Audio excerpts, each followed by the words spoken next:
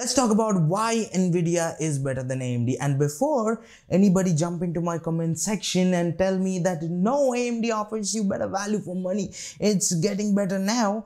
Well, I am not talking strictly about gaming. I'm talking about how Nvidia looks at the industry, what it has done. Now, before explaining why Nvidia is better than AMD, you have to understand about GPUs a little bit.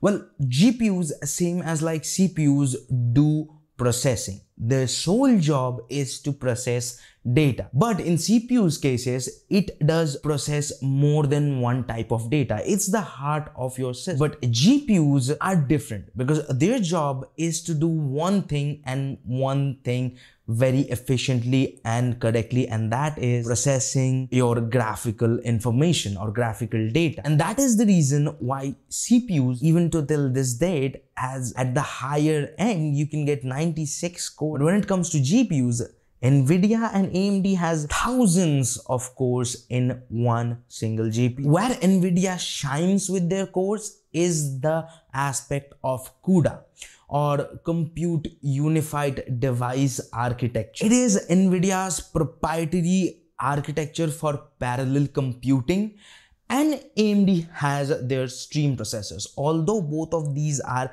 very similar in how they work, but there are some distinguishable difference between these two architectures. Because of these differences, NVIDIA is still ahead of AMD. Think like this. We have a huge water jug and there is uh, liters and liters of water in there. Now, if I put one hole into that jug, it will drain the water very slowly.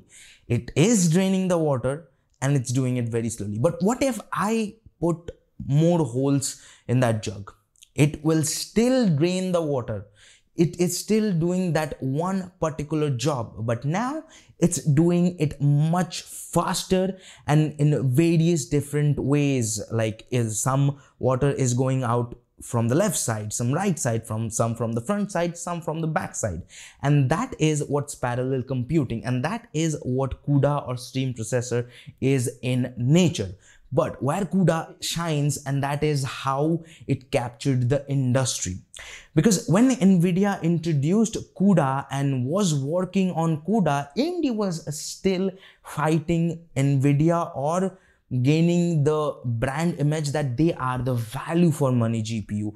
They fight on price but nvidia was playing the game very differently they were thinking about the future they were thinking about how industry professionals will use CUDA and that's the reason at a certain point of time they invested a lot of money in universities and introducing CUDA to curriculum. So when those students passed out from universities and got into jobs, well, they understood CUDA and it didn't hurt that at that time around 2013-14, there are a bunch of applications or research areas that was developing and CUDA was making that much more efficient. Writing code or CUDA code, not core, CUDA code, writing CUDA code is much more efficient and much more streamlined than if you were to do with OpenCL or even AMD's GPU-4 that they introduced recently. And that is the reason why in AI workflow or ML modeling, and it doesn't hurt that NVIDIA GPUs also have Tensor cores and their job is to work on AI and ML workflow. They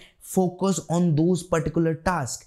And these are the reason why NVIDIA is still ahead. All these things are for industry professionals. What about us, you and me gamers? How in that scenario NVIDIA is better? With the 400 series and absurd pricing, how can I say NVIDIA is better? Because I am an optimistic person and I love to look things in a long run. And in the long run, AMD for me is still the same player as it is today. It's still gonna play in the base of their pricing and Nvidia is gonna play their cards with their technology. Tensor Cores helps with fidelity effects, DLSS and so many other AI things that Nvidia gonna launch in future. And not only that, NVIDIA has RT cores, which AMD just is developing and trying to introduce on their GPU. NVIDIA is already three generation ahead. Not only that, NVIDIA introduced this technology AMD didn't came out and said, hey, look at us. We are introducing this amazing technology and developers should adopt it. NVIDIA did. So NVIDIA was already working on this particular technology. Now they are optimizing and introducing more features to make this technology, ray tracing technology widely adopted. And it also leads to another big paradox and that is adoption and developer optimization. What do I mean by that? Developers will develop their game and optimize their game or softwares on the platform which has a mass adoption, not which is a very niche platform. Developers always want to reach more and more people because that will financially help the developers. But if developers doesn't develop and optimize their softwares, their product for a particular group, let's just say OpenCL, people won't buy GPUs which leverage OpenCL and Vulkan. People will buy GPUs which will leverage CUDA and DirectX. That's the paradox. If developers won't develop and optimize, users won't buy it and if users won't buy it developers won't optimize. So that's the reason why amd needs a breakthrough product where they will not only compete with nvidia in the budget area they will also compete with them in technology wise now the game is not only the rasterization performance now the game is how good your upscaling technology looks how is your ray tracing performance? Nvidia can charge anything they want because there isn't any other option. There isn't any other cuda equivalent. There are open source stuff but they are much harder. And that's the reason i am playing the devil's advocate. And before ending the video don't comment that i am a nvidia shield nvidia paid me look at my views. It, it, this video might have 10 to 20 views so no nvidia won't pay me. These are my thoughts what i think and if you disagree with me comment down in the comment section below. And that's it for this video. If you liked it hit the like button. And i know you all disliked it so yeah press the dislike button. And don't forget to subscribe and watch the next video right here. And there's akash. And i'll see you guys in the next one. Peace